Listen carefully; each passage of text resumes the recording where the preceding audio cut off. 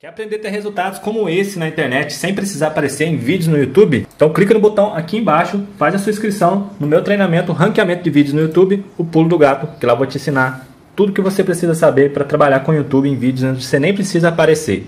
E no vídeo de hoje do canal, as últimas notícias do São Paulo para o confronto contra o Bragantino e, claro, atualizações do mercado da bola do São Paulo Futebol Clube.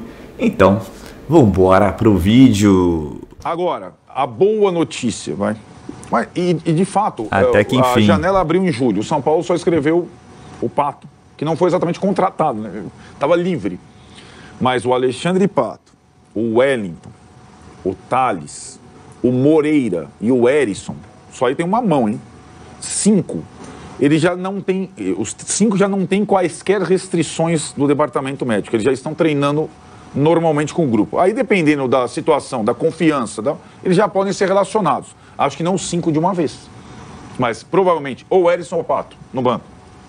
O Wellington, sim, se for preservado o Caio Paulista. E assim, se, é, é, o que eu falo para você. O São Paulo não, vai ter, não tem dinheiro para contratar. Agora, se ele recupera cinco do departamento médico, são cinco reforços. É o que a gente estava falando na relação com, com, os outros times. Aí você passa a ter um elenco para suportar três. Para num jogo do brasileiro você ter 20 relacionados que deem conta do recado num jogo brasileiro, porque assim vai ser, né? Então, é, é, é bem provável, até por conta da entrevista do Dorival, que o Alexandre Pato esteja à disposição em Bragança pela primeira vez. Ainda vai ter o treino do sábado para poder definir quais serão os relacionados. Então, dessa vez, por incrível que pareça, talvez o Dorival tenha que fazer cortes na lista de relacionados. Tenha sobretudo no meio para frente. Na zaga, não. Não fala baixo, senão os caras vão cortar É, o dedo exatamente. de alguém. Ah, corta aí, Dorival. É, mas ainda assim para esse jogo tá enroscado, né, Massa? Ah, é, o jogo é muito difícil, né, cara? O Bragantino me parece ser um Bragantino com a faca amolada. É, é o que É, tá, tá falando Pedro o Pablo Caixinha. Leite aqui. Já podemos dizer que o Bragantino trocou a faca de bolo Pullman para uma faca de pão com manteiga? Ah, mais, mais, mais, é, Era uma faquinha mais... É, o Flamengo foi aquela faca de sashimi, sabe, Massini? sei. É. Bem fino, É, né? Exato. entendeu? Corta fino, né? Corta. Sabre. Isso. Corta, tipo. é, como é que é aquela especiaria maravilhosa? Quando você corta rosbife. Isso. O Arnaldo gosta de roast beef. É uma das três comidas que ele come, uma é o É. Gosto daquele cru, frio, sabe? Meu organismo está começando a dizer que está na hora de eu almoçar. Pela segunda Então vez. também está na hora... Bom, e, o- bom, e o Pato? Será que ele vai pro, pode ir pro banco, né? Como Aí o eu vou deixar o Arnaldo comentar. Eu até eu pegar um. Olha ele aí, ó. O Pato, ele a, tá coisa, a coisa que mais se ouve do Pato, Massini, entre os tricolores é a seguinte: quando o, o rato perde o gol, fosse o Pato, não perdia. Quando faz aquela, ah, esse, esse lance aí, o Pato fazia o gol. Essa é, a- é é a, é a- é a frase preferida.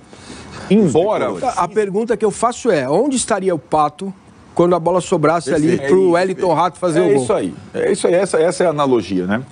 A questão, é, de fato, é, quem trabalha no São Paulo entende que fisicamente, é, forma física, força, o Pato esteja Ok. melhor do que estava na última vez. Tá. Mais magro, mais forte, é, enfim.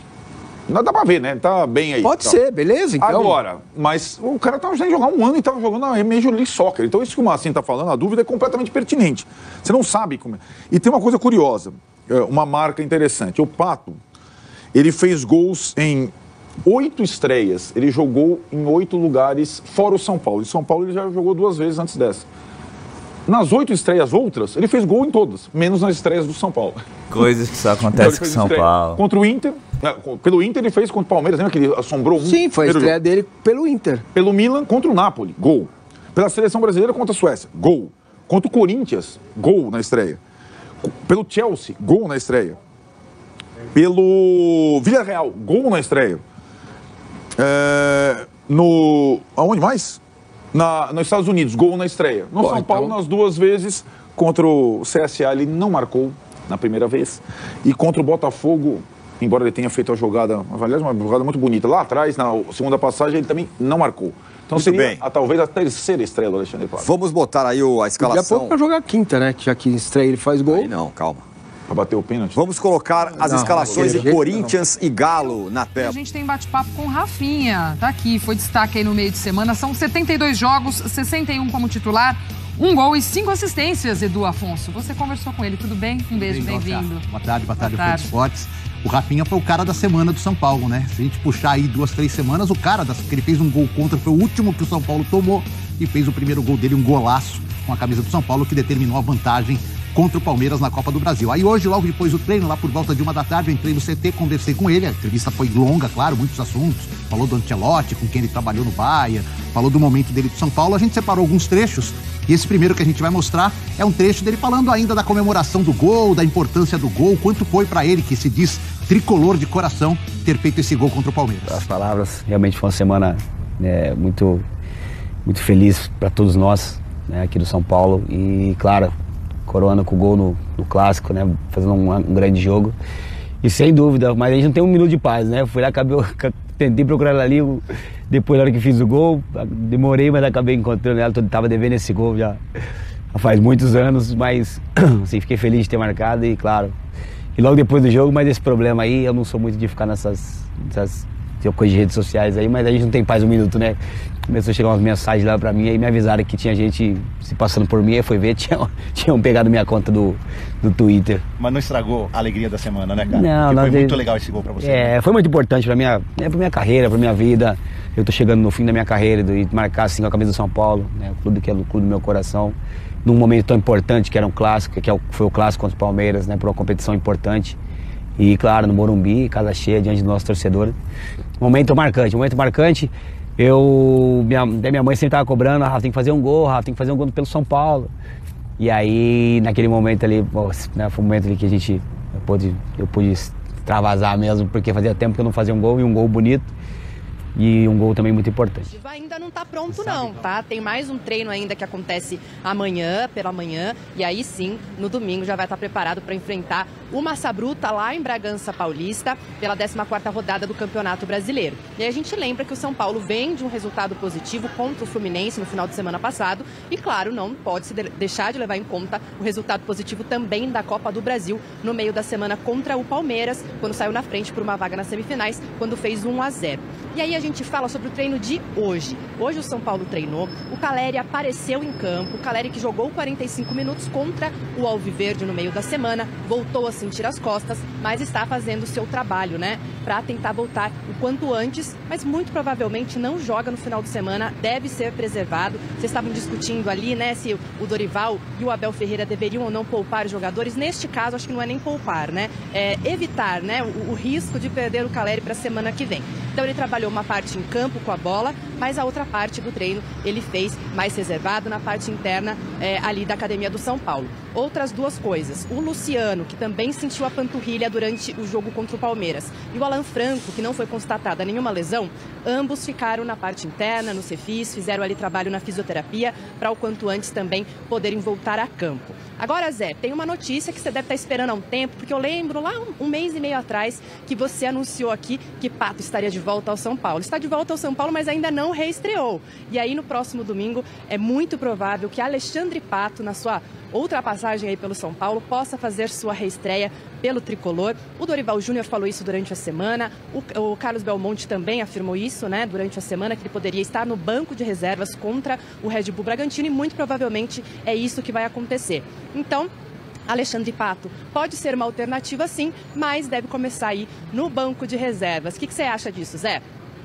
Bom, Dorival Júnior está no clima do nosso programa aqui no Pagode, né? Só no sapatinho. Caleri poupa aqui, treina um pouquinho menos ali. E aí, ô Garrafa, você acha que contra o Red Bull Bragantino, São Paulo tem chances de vencer o Massa Bruta fora de casa? É um time que briga pela mesma coisa que o São Paulo no Brasileirão? Jogo difícil como todos os jogos do Brasileiro. Não uhum. tem jogo fácil. Você pode pegar quem está na ponta da tabela e quem está lá embaixo. Você não vai ter moleza. Você não vai ter moleza.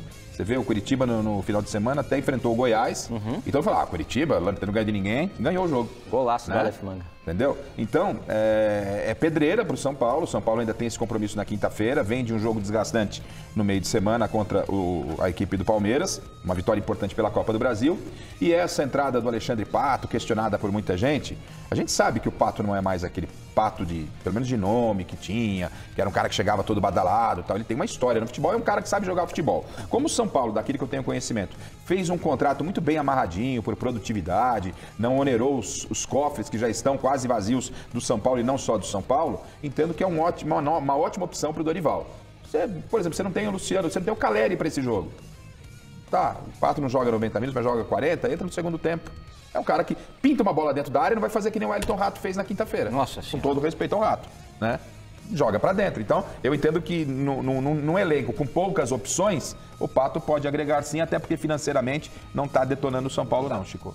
Hora, hora de falar sobre o São Paulo, queria te atualizar sobre Igor Rabelo e a chance de o atleticano pintar como reforço do São Paulo. Essa notícia foi divulgada recentemente pelo Rafael Ribeiro, jornalista do Lance. Ele lembra que o tricolor tem uma dívida, ou melhor, que o Atlético Mineiro tem uma dívida com o São Paulo. Na verdade, são duas dívidas. São pendências por conta da compra do Patrick, o Atlético não pagou a primeira prestação, e uma dívida mais antiga relacionada ao Caleb, jogador da base do São Paulo, que foi repassado para o Atlético e recentemente vendido para o Fortaleza.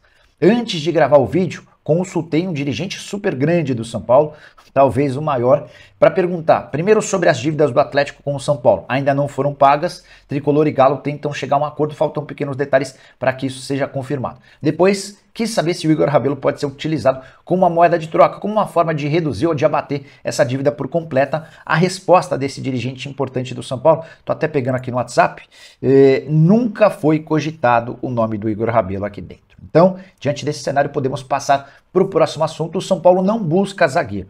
O objetivo nesse momento é encontrar atacantes de velocidade, e eu pus no plural, de preferência dois. O Dorival entende que falta esse tipo de jogador no elenco tricolor e também um camisa 10, se fosse possível. As tratativas com o Eric do Ceará seguem. O São Paulo pretende fechar o mais rápido possível um pré-contrato com o atacante, se não puder contar com ele agora, a partir de 1 de janeiro de 2024, sem custos. Sobre o Salazar, aquele meio atacante uruguaio que pertence ao Schalke, o São Paulo fez uma primeira proposta, a oferta foi recusada e hoje parece que o Salazar está mais perto do Anderlecht da Bélgica, que ofereceu uma quantia Normal. bastante interessante. Normal.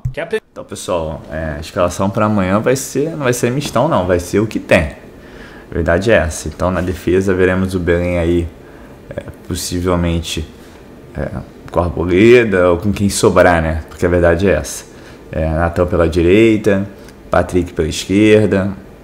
Talvez o meio-campo único que vai é o Pablo Maia, mesmo como o Arnaldo falou, porque ele tem uma boa condição física e é o cara que tem feito uma diferença aí no meio-campo tricolor, mas os demais, espere Gabriel Neves, espere Rodrigo Nestor, vai ser a garotada. Rodriguinho, mete um Alisson aqui para um lado e, e vê o que dá para fazer. No ataque, o Juan com certeza e mais um, talvez o David, e você tem as opções. Agora, a boa notícia, se é que é uma boa notícia, porque alguns entendem que não, é a possível reestreia do Prato aí, né? Que já demorou, né? Tá, deve estar mais do que preparado, né?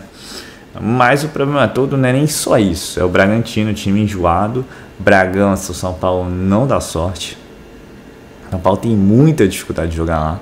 É, quando é um empate é suado, mas normalmente o São Paulo perde jogos lá. E vai pegar o Bragantino no melhor momento dele da temporada. Mas só que aí são prioridades, né? Se conseguir um empatezinho, eu abraço. É, o São Paulo na vitória e na derrota tem jogado bem. Mas o ideal é pontuar para você não distanciar dos líderes. Lembrando que o Bragantino está no mesmo rolo que o São Paulo. Então, se o São Paulo vence, ele pode galgar novas posições e ainda mais daria uma super moral para o jogo contra o Palmeiras na quinta-feira. Lembrando que é, o Palmeiras vai ter retornos do Rony e possivelmente do Zé Rafael. Então, assim, jogo duríssimo. Mas São Paulo faz certo, poupa porque tem que poupar, porque quando não poupa, jogador se machuca, ah, jogador B se machuca, e aí complica. É, o elenco que o São Paulo tem é esse. O Arnaldo fez outra colocação para mim muito correta, no sentido que se tem cinco voltando, são cinco reforços, e é isso mesmo. Agora vamos ver se eles vão poder entrar em campo e tal. Seria interessante, pelo menos 10, 15 minutos aí, um Wellington, um Erisson, um Pato. Até para você começar a poder contar com esses jogadores aí no segundo tempo, pelo menos, entendeu? E aí, se o Pato entrar, a cobrança vai voltar, né? No início, antes seria indo, né? Ah, se fosse o Pato, não perdia, mas agora, amigo, vai ser com ele. Grande desafio da vida profissional dele, porque é um contrato curto, é um contrato de produtividade. E, assim, o discurso é bacana, agora vamos ver dentro de campo. Falando de mercado da bola. Já falamos de Soteudo, já falamos de Salazar, já falamos de Marinho, já falamos de Salarino. Esses caras, tudo cada um foi pro seu lado. São Paulo tem dinheiro para competir. Simples assim como foi dito pelo Nicola. O Salazar é outro que deve ir pro futebol belga. O São Paulo está tendo grandes dificuldades em fazer o contrato com o Eric, que não tem bala na agulha. Então, gente, não esperem grande coisa dessa janela de transferência, não. Agora, saídas é que preocupa, né? Ainda principalmente do Pablo Maia, Beraldo. Beraldo agora, né, como ele se machucou, deu uma esfriada. Mas ainda assim preocupa. Ah, se o São Paulo pudesse fazer um modelo de negócio como fez o Atlético Paranaense, que vendeu o Vitor Roque, mas só entrega no final do ano, seria o ideal, né? Seria o ideal. Você não quebra o time esportivamente e ganha financeiramente, né? Que é mais ou menos essa a ideia para o jogo contra o Palmeiras, né? Se o São Paulo passa sem final, é uma grana que entra. E assim, você ou pega um Corinthians que está muito pressionado, ou você pega um América Mineiro, que o São Paulo já passou por essa equipe em edições anteriores da Copa do Brasil. E que aí, na verdade, seria obrigação do tricolor chegar à final. E aí, você chegando à final, você ganha uma bonificação bem legal. Sendo campeão, então, é, praticamente você paga metade do que você precisaria de venda de jogadores. Mas é um passo de cada vez, né? Um passo de cada vez. Então é isso. Acho que no, no vídeo de hoje a gente mostra uma preparação do São Paulo diferente. São Paulo dessa vez vai poupar mesmo tem a questão de cidade, mas também tem a questão de poupar e focar no jogo de volta das quartas de final. E atualizando, claro, como sempre, o mercado da bola. É paupérrimo do São Paulo. A verdade é essa, porque não tem bala na agulha. E eu, como eu digo, o Casares vai tentar a reeleição e deve conseguir. Já são três anos de gestão Casares. Não dá mais para ficar culpando Solé, Quaidara e companhia. Ele também tem culpa no cartório. E aí ele diz, ah, ano que vem, todo ano seguinte vai ser melhor. Então a gente cobra para que o ano seguinte seja melhor, porque não dá mais, né? Esse tipo de situação. Então é isso, pessoal. Sou Marcelo Mazorra do canal Mazorra SPFC, um pouco sem voz. E se você quiser ficar ligado nas últimas, nas notícias, nas novidades do São Paulo Futebol Clube, não deixe de se inscrever no canal, ativar o sininho para notificações e se puder nesse vídeo, deixa aquele likezão, tá ok? Um ótimo sábado a todos, um ótimo fim de semana a todos. Vamos ficar de olho no nosso rival na Copa do Brasil hoje contra o Flamengo, né? Porque amanhã tem tricolor amanhã com a gente. E valeu! Quer aprender a ter resultados como esse na internet sem precisar aparecer em vídeos no YouTube? Então clica no botão aqui embaixo, faz a sua inscrição no meu treinamento Ranqueamento de Vídeos no YouTube, o Pulo do Gato, que lá eu vou te ensinar tudo que você precisa saber para trabalhar com o YouTube em vídeos onde você nem precisa aparecer.